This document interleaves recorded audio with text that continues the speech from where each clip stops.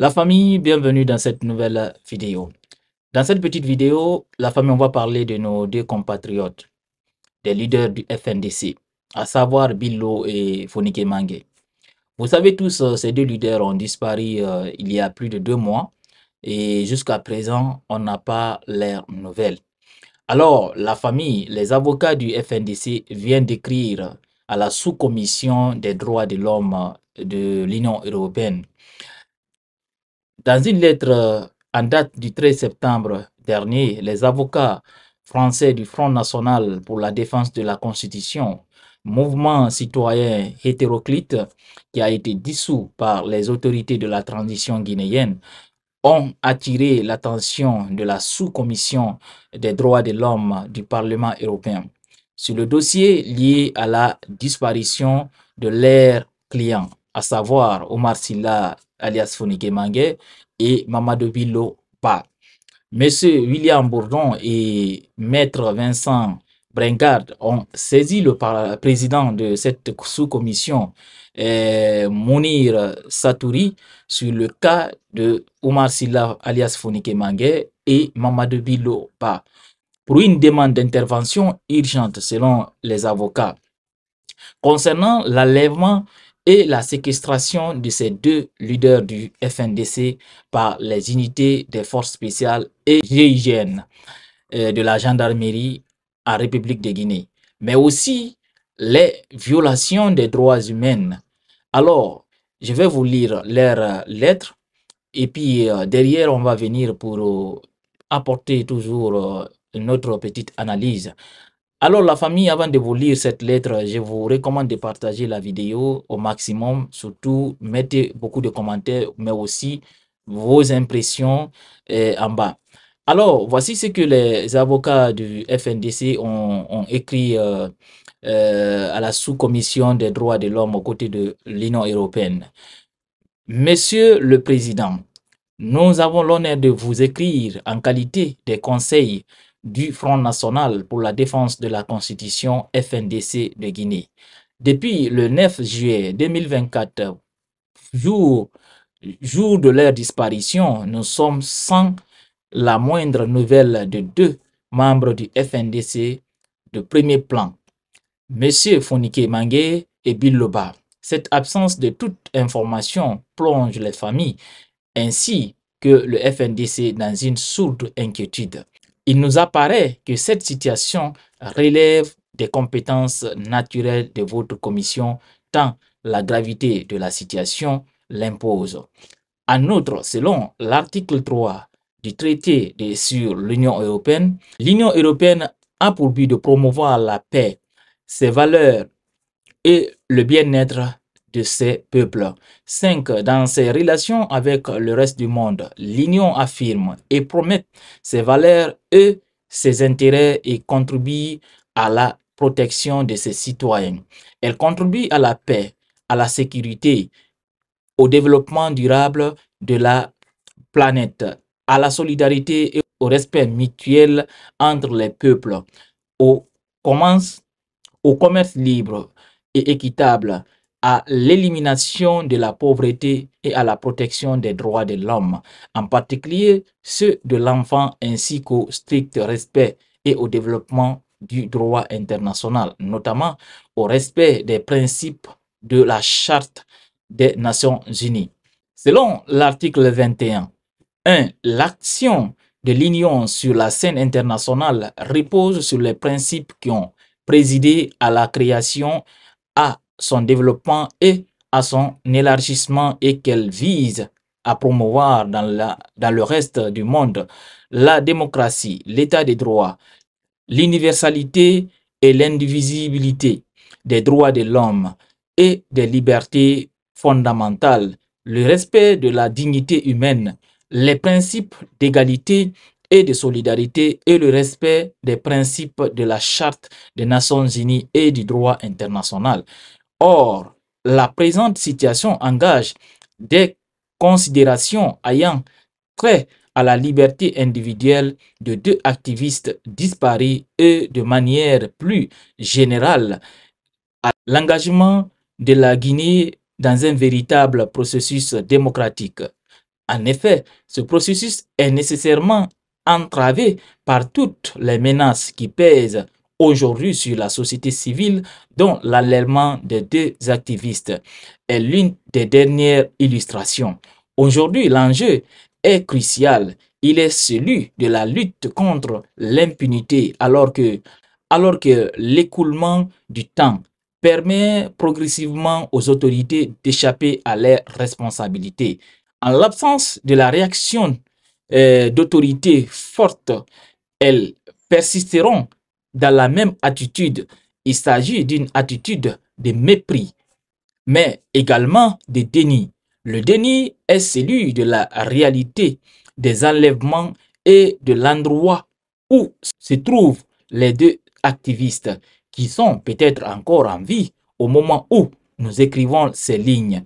Le 9 juillet 2024, la belle-sœur du coordinateur national du FNDC, Omar Silla Fonikemangue, et les témoignages recueillis un contingent d'éléments mixtes des forces spéciales FS et du groupement d'intervention de la gendarmerie nationale GIGN ont pris d'assaut le domicile de M. Fonike avec un déchaînement de violence inouï présent lors de cet assaut, M. Fonike et Bilo y ont été interpellés par les forces gouvernementales. Pourtant, à notre plus grande stupéfaction, le parquet général, après la cour d'appel de Conakry, soutient dans un communiqué qu'aucun organe d'enquête n'a procédé à une interpellation. Cette situation est gravissime car cela signifie qu'il est pour l'air impossible d'avoir des nouvelles des personnes arrêtées.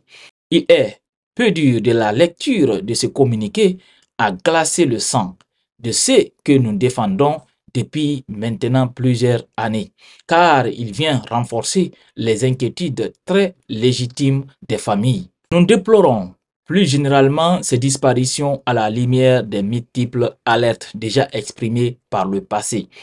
Il ne fait aucun doute que ces arrestations sont directement en lien avec les activités politiques et opinions de M. Fonike, Mangue et Biloba. Ces disparitions s'inscrivent dans le cadre de violations très graves aux droits de l'homme en Guinée.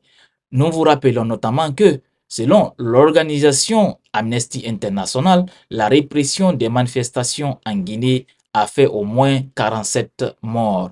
Selon les récents travaux de l'ACA, l'usage de la force létale par les agents d'application des lois fait rarement objet de réelles enquêtes et les auteurs de tirs mortels illégaux ne répondent quasiment jamais de leurs actes devant la justice guinéenne, faute de volonté politique. Cela doit changer.